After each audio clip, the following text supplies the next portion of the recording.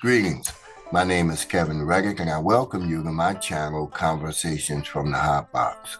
Here we discuss topics and issues to engage in for greater enlightenment and understanding. I'm very passionate about discussing these issues, and so I do so from a Christian biblical perspective. I believe that by sharing our experiences and insights, we can learn from one another and grow in our faith and understanding of God's Word. Today's conversation addresses journeying through the dimensions and levels of faith. So jump in the car and let's ride. As Christians, we are all on a journey of faith. And this journey is filled with different challenges and obstacles that we must overcome. And to overcome them, we need to obtain different dimensions and levels of faith. When I use the term dimension, I'm referring to the nature, the quality, character, and class of a thing. In this case, faith. When I use the term level, I'm referring to doing things better than average, uh, ability, uh, uh, more advanced or more successful than before. Faith is a powerful force that can move mountains and break down barriers. It is the foundation of our relationship with God and the driving force behind our actions.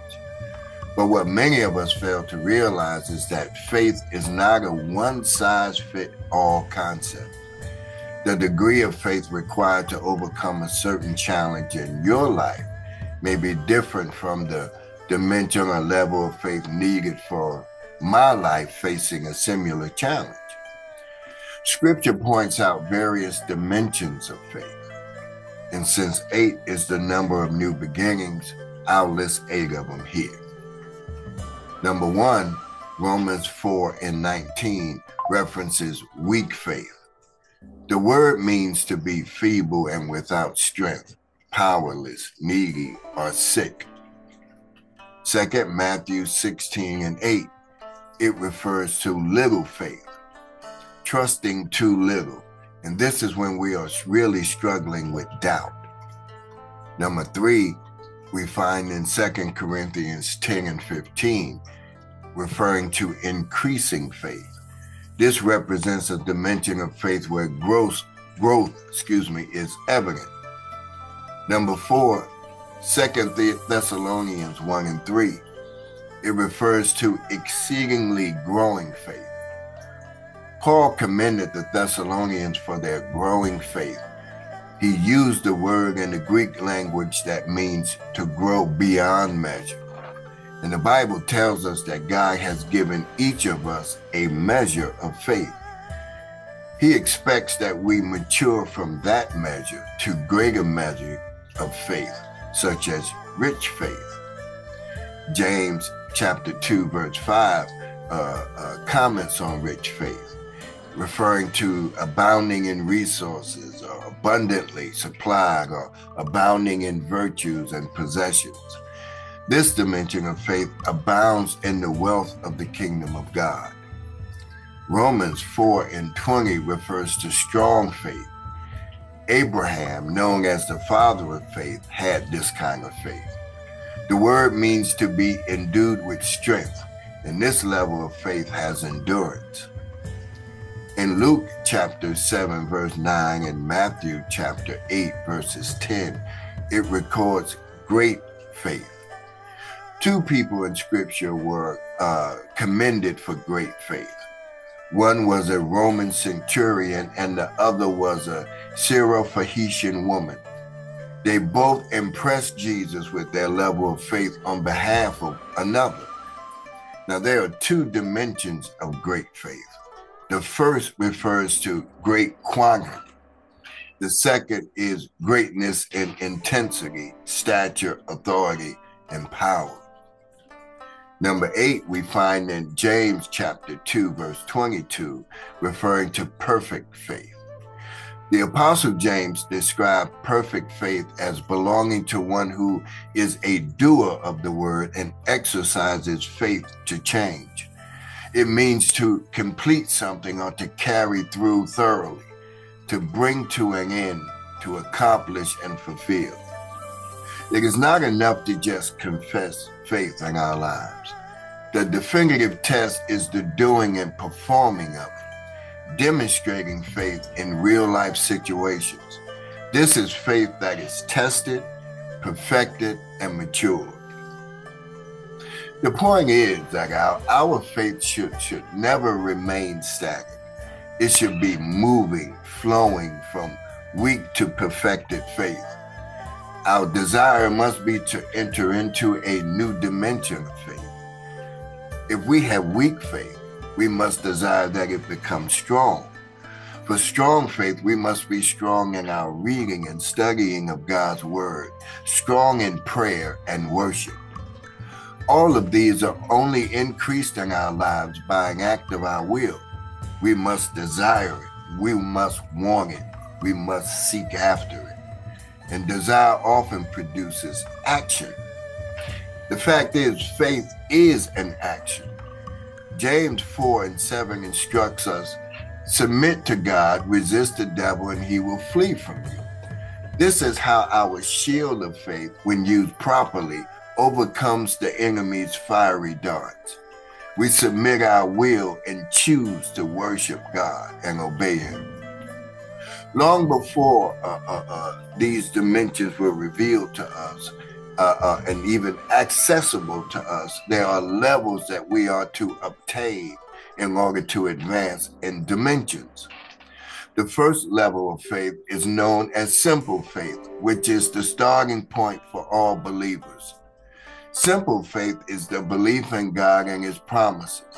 It is the unshakable trust that God is in control it is the faith that helps us take that take that first step towards building a relationship with God and surrendering our lives to Him. The second level of faith is tested faith. This is when our faith is put to the test through trials and tribulations and hardships. We may face situations that seem impossible to overcome. It is these enduring times that our faith is strengthened. In a sense, untested faith has no proven worth, and its quality remains unknown. A tested faith is a faith that will stand. It is how faith is transferred from the head to actions that build relationships. Remember, faith is not doing something for God. Faith is your relationship with God. Hmm. The third level of faith is growing faith. As we continue to face challenges and come out stronger on the other side, our faith grows. It becomes deeper and more rooted in our hearts. Growing faith helps us in developing a stronger relationship and connection with God, trusting in Him and His Word, and acting in accordance with His will. Growing faith pushes us to act on our faith taking risks, uh, speaking out for justice, and pursuing our calling are all acts of faith that can help us grow. The final level of faith is mature faith. This is the highest level of faith, and it, is reserved for those who have been on a long and demanding journey. Mature faith is characterized by uh, unwavering trust in God regardless of the circumstance. In the book of Luke, we are introduced to a woman whose life is a lesson in journeying through the various dimensions and levels of faith. We find her in the book of Luke, chapter 8, starting at verse 43 to verse 48. And it reads, But as he went, the multitudes thronged him, referring to Jesus. Now, a woman having a flow of blood for 12 years who had spent all her livelihood on physicians and could not be healed by any, came from behind and touched the border of his garment, and immediately her flow of blood stopped. And Jesus said, Who touched me? When all denied it, Peter and those with him said, Master, the multitudes throng and press you, and you say, Who touched me? But Jesus said, Somebody touched me, for I perceive power going out from me. Now, when the woman saw that she was not hidden, she, she came trembling and falling down before him. She declared to him in the presence of all the people the reason she had touched him and how she was healed immediately. And Jesus said to her, Daughter, be of good cheer. Your faith has made you well. Go in peace. For 12 years, this woman placed her faith in doctors to no avail. As her journey started, her faith was strong in the doctors she visited. But as her medical bills piled up and her vision for a cure became harder to see, her hopes and expectations went down. For some, this could be considered a bad thing. However, her emotional, mental, and psychological state was now the perfect environment for faith in, in, in God and positive faith movement in her life. In time, this woman's faith will transfer from doctors to Jesus. Regarding the biblical teaching that faith without works is dead, I find this woman's encounter with Jesus is the perfect illustration of that lesson. She could have stayed home and rested in her faith. She could have stayed home and wallowed in her misery. But she decided to put herself at great risk by leaving the house in her condition and putting her faith into action. This was the testing of her faith. When she arrived where Jesus was, I could see her faith growing as she pressed through the crowd to get to Jesus. At this point, her faith encouraged her to push past individuals who may have recognized her as, quote, the woman with the issue. You know how quickly gossip travels when you're dealing with a known issue. According to Jewish customs at the time, she was guilty of the violation of coming out in public during her menstrual cycle. Such an act demanded her public stoning. I'm sure she was aware of the danger she was putting herself in.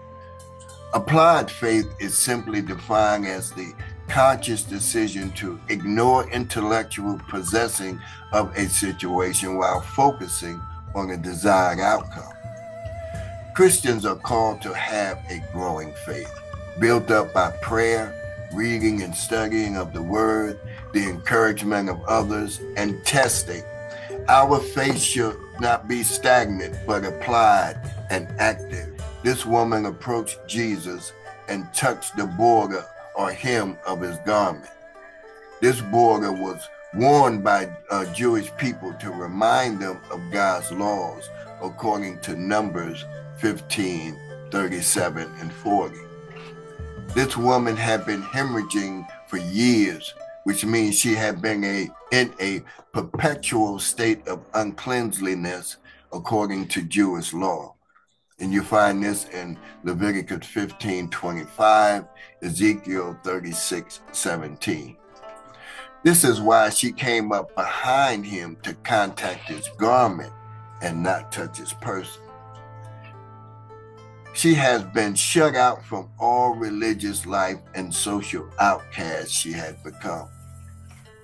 In despair over her loneliness and condition, she hoped that an underground approach, a, a, a secret touching of Jesus, would change her fate. Her solution worked, but it also brings her more than she bargained for. You see, this act of faith could not remain a secret.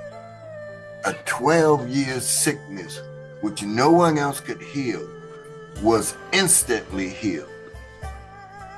In this account, Jesus was returning to Capernaum where a man and a woman who each had heavy burdens to share with Jesus was on, was on a faith journey.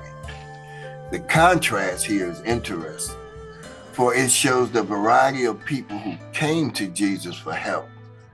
The man's name is given, Jairus, but this woman remains anonymous. Jairus was a wealthy leading citizen but the woman was a lowly person who spent all her money trying to get healed. Here was a man interceding for his child, and a woman hoping to get help for herself. And both came to the feet of Jesus. Jairus had been blessed with 12 years of joy with his daughter, and now he might lose it. While the woman had experienced 12 years of misery because of her affliction, and she was hoping to lose it with the help of Jesus. 12 is an important number in the lives of these two individuals. The number 12 is found 187 times in the Bible. Through its use alone, it would seem significant. The places we find it in the Old and the New Testament assert its importance and hints at its meaning. Here are 12 instances when the number 12 is used in Scripture. For example, we have Jacob had 12 sons. These 12 sons became the 12 tribes of Israel. Moses sent out 12 spies. Elijah built an altar of 12 stones when he called fire down from heaven. 12 minor prophets are in the Bible. God specified that 12 uh, uh, cakes of bread be placed weekly in the temple. Jesus' first words are recorded at the age 12 when Mary and Joseph found him in his quote, Father's house. Jesus had 12 disciples. When Jesus fed the 5,000, 12 baskets were filled with leftovers. When Peter cut off the soldier's ear defending Jesus, Jesus rebuked him, saying he had the power to call down 12 legions of angels. The New Jerusalem had 12 gates and 12 foundations, according to Revelations 21 and 12 and the tree of life will bear 12 fruit crops 12 times a year, according to Revelation 22. One of the symbolisms of the number 12 is foundation. Could it be that for 12 years God was allowing the building of the foundation on which uh, these two individuals' faith would have to stand on at this particular moment in their lives? Jesus knew that he had been touched, but he didn't know by whom. Why did it matter? Couldn't Jesus have let this woman go her way? The truth is, it wasn't that Jesus didn't know who touched her. He wanted her to step forward and identify herself. Jesus wanted to teach her that his cloak did not contain some magical properties, but that her faith in him had healed her. It was not simply the woman's touching of Jesus' garment that healed her, for others pressed against Jesus as well. It was the faith that caused her to touch Jesus that brought healing. Yet something more important happened than the uh, sensation of her bleeding stopping. The experience, physical healing uh, she experienced was great, but there was even more, even greater than she bargained for. See, if Jesus' concern for her did not uh, only involve physical healing only, that would have really shortchanged this miraculous account. Luke reported that Jesus sought out this woman because something greater than physical healing was taking place. Through faith, the woman also received spiritual healing. He may also have wanted to teach the crowds a lesson. You know, Jesus was always teaching because he's a master teacher. According to Jewish law, a man who touched a ministrating woman became ceremonially unclean, according to Leviticus 15 19 through 28. And this was true whether her bleeding was normal or, as in this woman's case, the result of illness. To protect themselves from such defilement, Jewish men carefully avoided touching, speaking, or even looking at such women.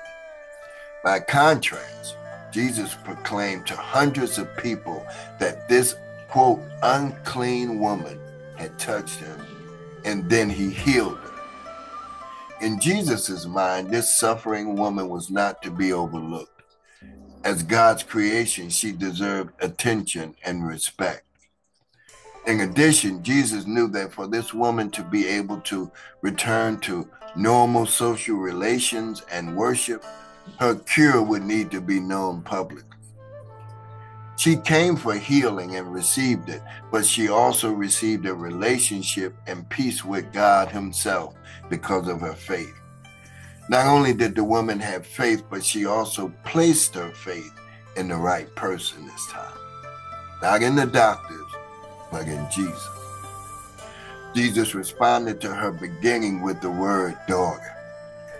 By the affectionate term daughter, Jesus immediately reassured the woman and alleviated her fears. Fears. He called her daughter, which suggests that she was now in the family. She was a citizen of the kingdom of God. It, the, the, the scripture records, he said, You have been made whole. That term is a translation which really means to be saved. so she had a healed body and a saved soul and she went out in peace, all because of her faith journey. More than anything, her faith was in Jesus, and the object of faith, faith was much more important than the quality of faith. She was a testimony to the power of faith, and her witness was a rebuke to the multitudes. So you can be a part of the crowd and never get any blessing from being near Jesus. it is one thing to to press him as, as, as the multitudes did in this account. But it's another thing to touch him by faith as this woman did. We may not have strong faith, but we do have a strong Savior. And he responds even to a touch at the hem of his garment. Today, many people are vaguely familiar with Jesus. They, they, they know about him, but they don't know him. And therefore, nothing in their lives is changed or bettered uh, by this intellectual relationship, this passing acquaintance. It is only faith that increases God's healing power in our relationship with Him. Jesus must be more than a curiosity.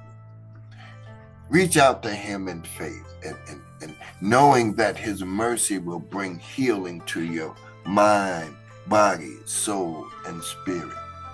And more importantly, knowing that this reaching out will increase and strengthen your relationship with him. What say you? Well, I hope you enjoyed the ride today. If you want to accept Jesus as your Lord and Savior, please click on the button above labeled Prayer of Salvation. Otherwise, thank you for spending some of your time with me.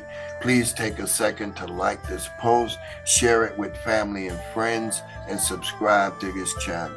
And as always, peace and blessings to you and your household.